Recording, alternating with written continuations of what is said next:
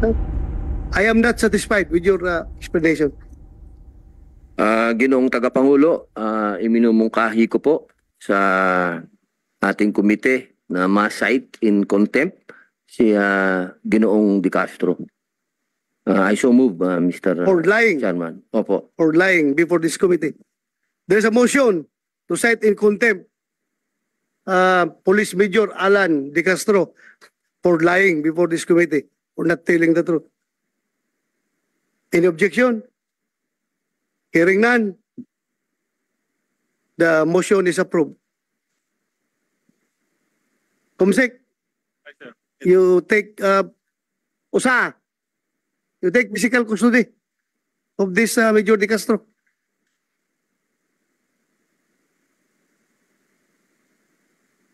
Ito ang AJ Bueno Vlog. Mga kaabangers, pinasight in contempt ni Senador Robin Padilla nitong Martes si Police Major Alan Di Castro na naiugnay sa pagkawala ng beauty queen na si Catherine Camilon sa Batangas noong October 2023. Inaprobahan naman ni Senador Bato de la Rosa ang mosyon ni Senador Robin na isight in contempt si Di Castro dahil sa pagsisinungaling nito sa komite. Inuutos niya na i-take into custody si Di Castro. Iginiit ni Di Castro na wala siyang relasyon kay Camilon sa kabila ng ebidensya mula sa pamilya ni Camilon at sa mga investigador.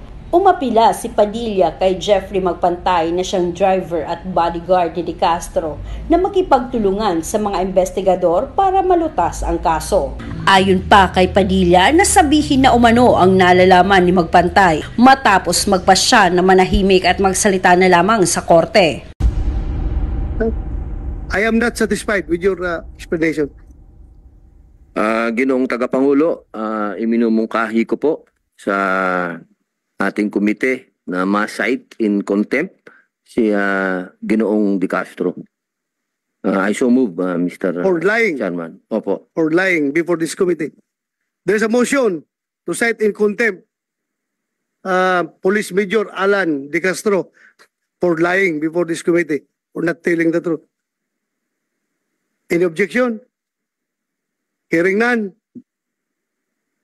The motion is approved.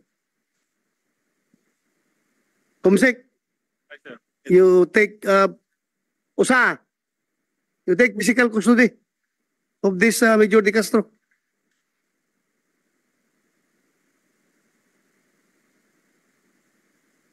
Magbantay. Yes po, Your Honor. May kaso ka nang na, na-file sa'yo? Yes, Your Honor. Anong kaso? Ah, kidnapping and serious, illi- serious illegal detention po, sir. For the record, girlfriend mo yung missing na beauty queen? No, Your Honor. No. No, sir. Hindi mo girlfriend yun. Hindi po, sir. Under oath ka ba? Maayaw ko mag-contempt ng tao dito. Tapos baka mamaya i-contempt kita. Under oath, sir. Under oath. Ha? Hindi mo girlfriend yun? Hindi po, sir. Saan yung parents? Hindi niya girlfriend si yung anak niyo na missing? Girlfriend po, sir. Girlfriend. Girlfriend po na late na lang din po namin na nalaman noong nawawala na po yung kapatid ko. Na girlfriend niya. Opo. Bali, October 12 po nawala yung kapatid ko. October 13 ko po nalaman na magkasintahan po sila. Nang dahil po dun sa kaibigan po ng kapatid ko na nag-open po sa amin po ng lahat. So ano palang relasyon ninyo? Magka- Again, you're under oath, ha? Yes, sir. Ah, under oath ka, iho. Yes, sir. Wala Oh. po, sir. Hindi po kami magkarelasyon, sir. Bakit sabi mo hindi mo siya girlfriend? Hindi po talaga, sir. Tapos nawala na lang. Wala po kami relasyon, sir. Makikita naman yun, sir, sa mga affidavit nila, sir, na wala naman sina, sina- sina- sinasabi na na kung sino ang karelasyon. Anak ng baka. Wala, wala kaming relasyon, sir. O wala na silang relasyon. Nagsisinungaling siya, sir. Paano ka nakasuhan kung wala kang relasyon? Yun ang, al- ang allegation nila, sir. Ako daw po yung boyfriend.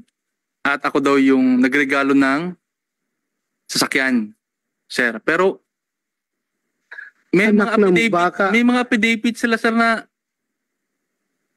hindi nila alam kung sinong boyfriend.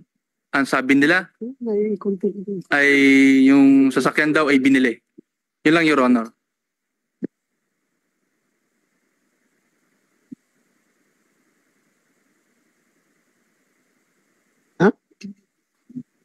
NBI. Na-establish ba niyo na girlfriend niya yun? Yes, Your Honor. PNP. Jack Malinaw. Yes, sir. Uh, based on the statements given by the witnesses, sir, uh, may relationship si... May relationship. Yes, sir. So, nagsisinungaling ka sa harapan ko. No, Your Honor. Ha? Hindi po, sir. Anak ng tinawag.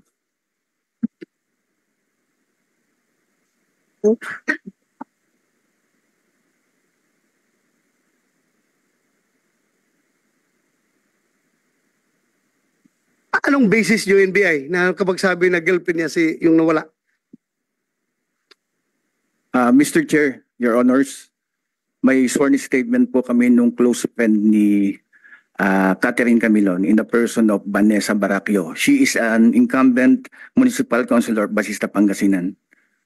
So you are an investigator, Yes, Your- criminal investigator ka ng NBI. yes, Your Honor. Yes, Do, Mr. do you Chair. believe na girlfriend niya based on the affidavits na nakuha nyo?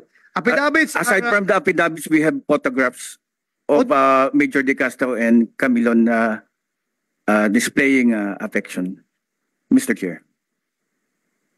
Jack Malinaw. The same thing, sir. Uh, we have, we also have the statements and supplemental statements of uh, Miss uh, Vanessa Baracchio and also the screenshots of the the pictures of uh, the two individual uh, displaying affection, Your Honor. you show cause why I don't uh, cite you in contempt before this uh, hearing, before this committee. De Castro. Your Honor, nagsasabi po ako ng totoo. Wala Yun po lang. kaming... Totoo lang sinasabi mo. Yes, Your Honor. Ha? Wala kang ebidensya na hindi sila, hindi kayo boyfriend. Hindi, hindi mo siya girlfriend. Wala kaming relasyon, sir. Wala. Wala kayong Wala. relasyon. Wala po.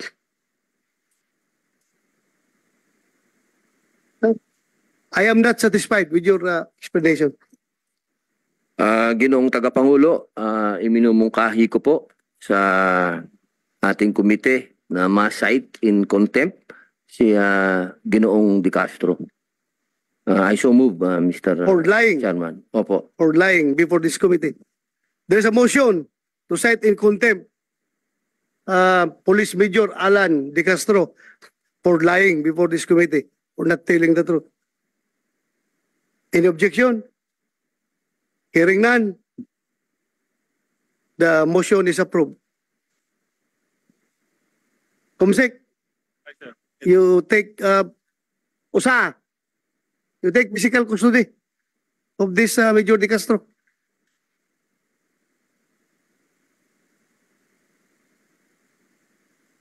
Magbantay. Yes po, Your Honor.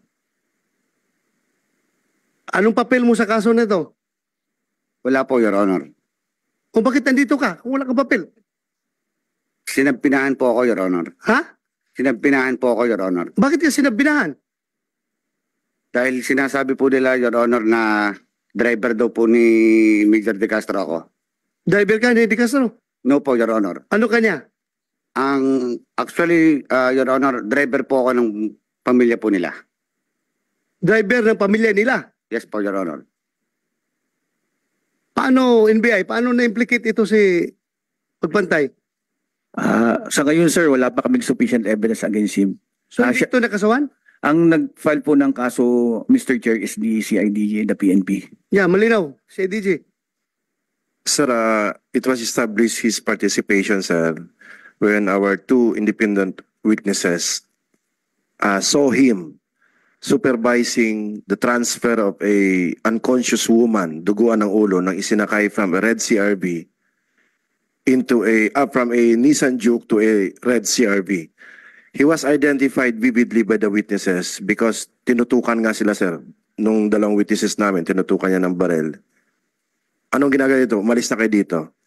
And based on the recollection, sir, ng mga witnesses, nandun naman sa statement nila, ah, meron siyang tattoo sa dalawang binti niya, sir. Kasi he was wearing shorts during that time. That was the statement given to us. May two- ka? Meron po, Your Honor. Meron. Meron So, po. confirm yung sinabi ng witness. Hindi po, Your Honor. Pero inaamin mo na driver ka ng pamilya ni Yes po. De Castro. Yes po, Your Honor. Ang dinideny mo is hindi hindi ka driver niya. Yes po. So, he is a member of the family. So, pwede ka rin mag-drive sa kanya. Ang sa father and mother lang po niya ako nagde-drive, Your Honor. Father and Kung, mother. mag- kung mag-drive man ako, Your Honor, sa kanya, sa mga private na lakad po, for example, mag-aanak sa kasal, mag-aanak sa binyag, sa ganun lang po, Your Honor. So, nagda-drive ka rin sa kanya. Tag, opo, Your Honor.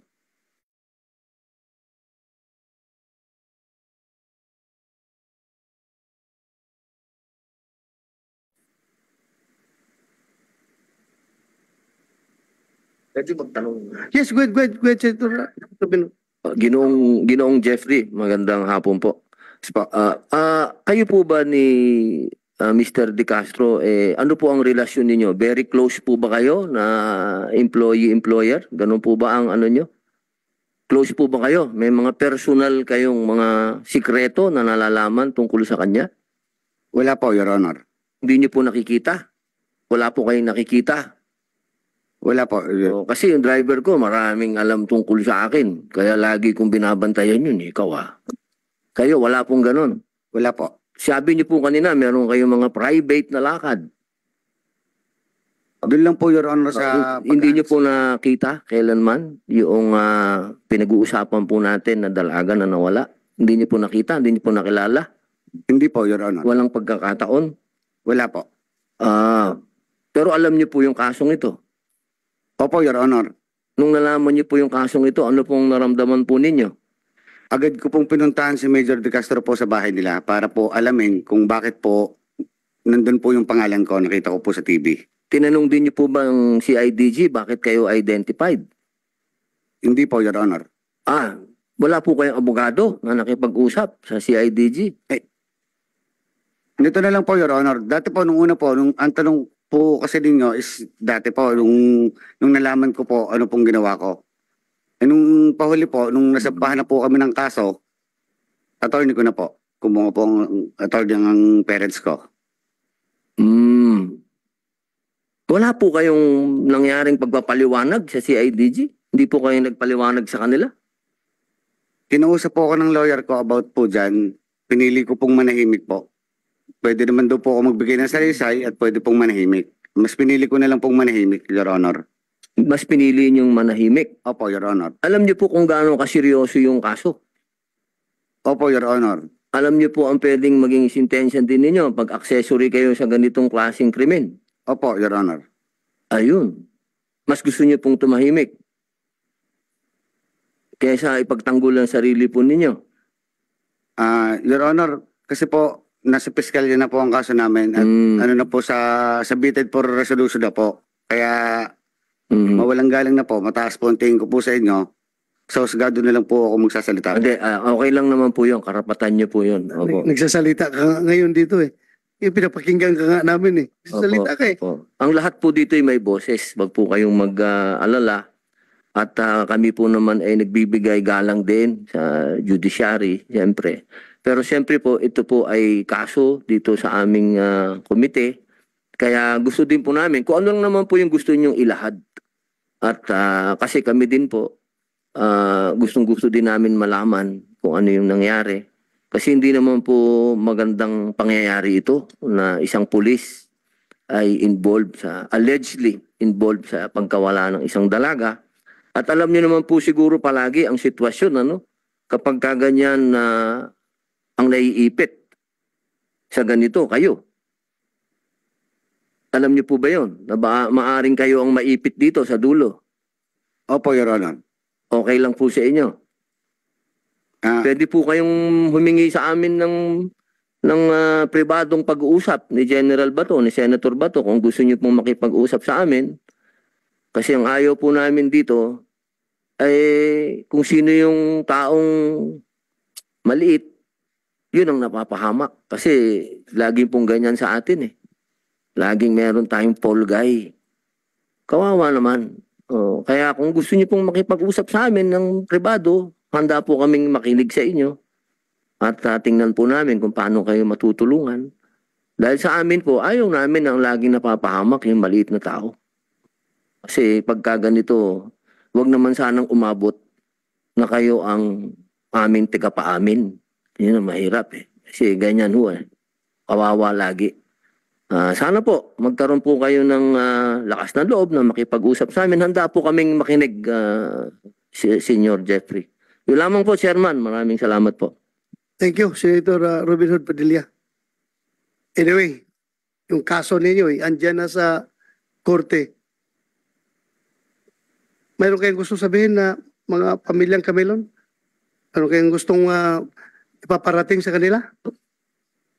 Ang lagi lang po namin, sir, na hinihiling ay malaman ho namin talaga ang totoo sa kung ano pa po ang nangyari sa aming anak. Dahil limang buwan na ho, limang buwan na ho namin siyang hindi alam. Dahil wala nga hong nagsasalita sa kanila. Dahil kagaya po ni Magpantay, siya po yung sinasabi na kasama na maglipat nung sinasabing babaeng duguan na sinasabi yun ng aming anak. Sir, napakasakit naman at napakahirap sa sa loob namin bilang pamilya. Na hanggang ngayon wala ho kaming naiintindihan. Wala ho kaming alam kung nasan ho talaga ang aming anak. Limang buwan na ho, sir. Kahit ho lumabas yan, dahil nung una ho nag, nawala yan eh. Nung una hong labas na kasali siya, kasama siya sa sa kapangyari ho sa pagkawala ng aming anak. Nawala ho siya parang tumago. Tapos nung nag, mm, naglapit nga po kami kay Senator Rafi Tulfo sa sa sa kanilang sa kanilang programa, makailang hindi ko ho alam kung may linggo o inabot ng buwan, bigla ho siyang lumitaw sa Balayan Police Station na hanggang sa ngayon naman ho wala siyang sinasabi. Pero yun ho ang sinasabi ng mga witnesses po ng CIDJ na siya yung nakita na nagmamanduho doon sa mga tao na naglilipat ho doon sa sa babaeng duguan. Sir, hindi ho namin alam kung ang babae hubang yun eh talagang ang aming anak. Kailangan ho naming malaman. Kailangan ho naming maintindihan kung nasaan ho ang aming anak. Limang buwan na ho, sir. Wala ho ang, hindi ho namin alam kung nasaan mahirap ho sa amin pero pinaglalabanan ho namin dahil kami ho inaasa na magkakaroon ho ng linaw ang aming problema na ito.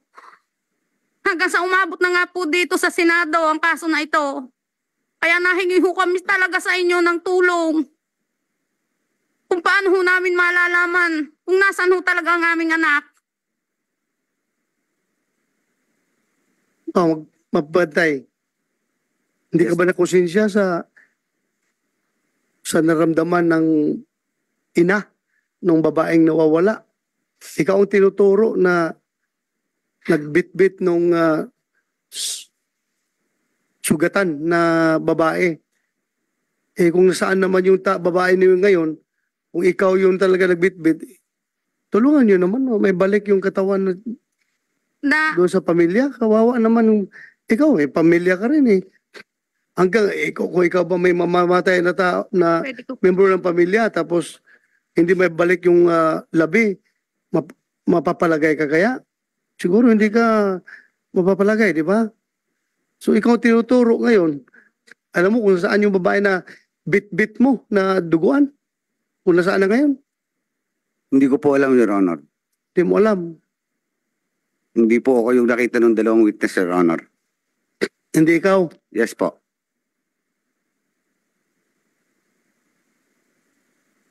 Anyway.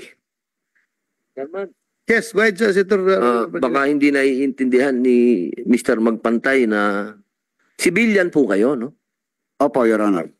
Hindi po kayo police, siyempre, maliwanag. Alam niyo po, kami po ni General Bato, ni Senator Bato, ako po ay dating bilanggo at si General Bato ay dating direktor sa Bilibid. Opo.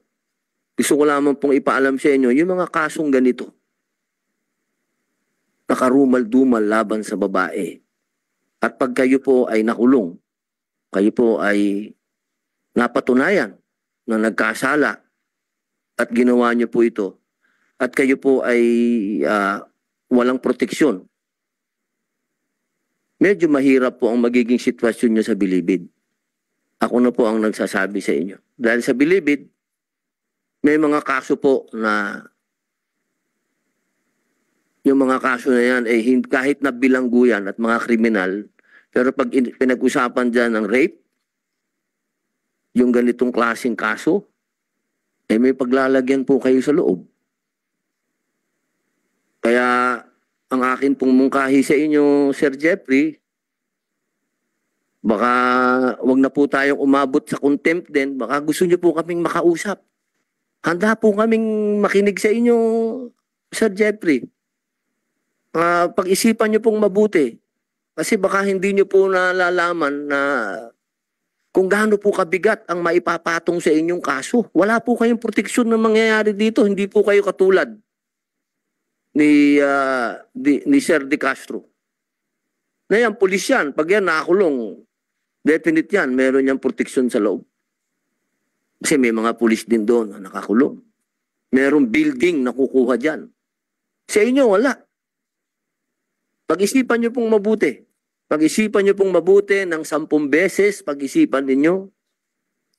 Makakatulong kayo ng sa pamilya na na kawawa naman ang pamilyang ito. At tayo makakatulong sa kanya. At kami makakatulong sa iyo. So are you willing na mag-executive session sa aming dalawa ni Senator Robin Hood after this? No po, Your Honor. Wala po kasi po ako, Your Honor, itetestigo po. Ha? Wala po akong itetestigo laban kay Major. At, la- at Hindi, wala hindi. po akong alam tungkol sa babae. Ibig kong sabihin ba, gusto mo bang mag makipag-usap sa amin mamaya afterwards? Pwede po, Your We're Honor. offering you or uh, Pwede po, Your Honor. Pwede po. gusto mong makipag-usap sa amin? Pwede po. Mamaya, pag, uh, pag uh, adjourn namin, uh, natin dito, mag-usap tayo. Opo. Ha? Yes po, Your Honor. Ay, makita mo yung parents, oh. Wawa. Ha? Sus, papalayo lang. Huwag sana mangyari rin sa akin. Nakunod. Hirap. Ang vlog na ito ay bukas sa anumang opinyon, pahayag o mensahe.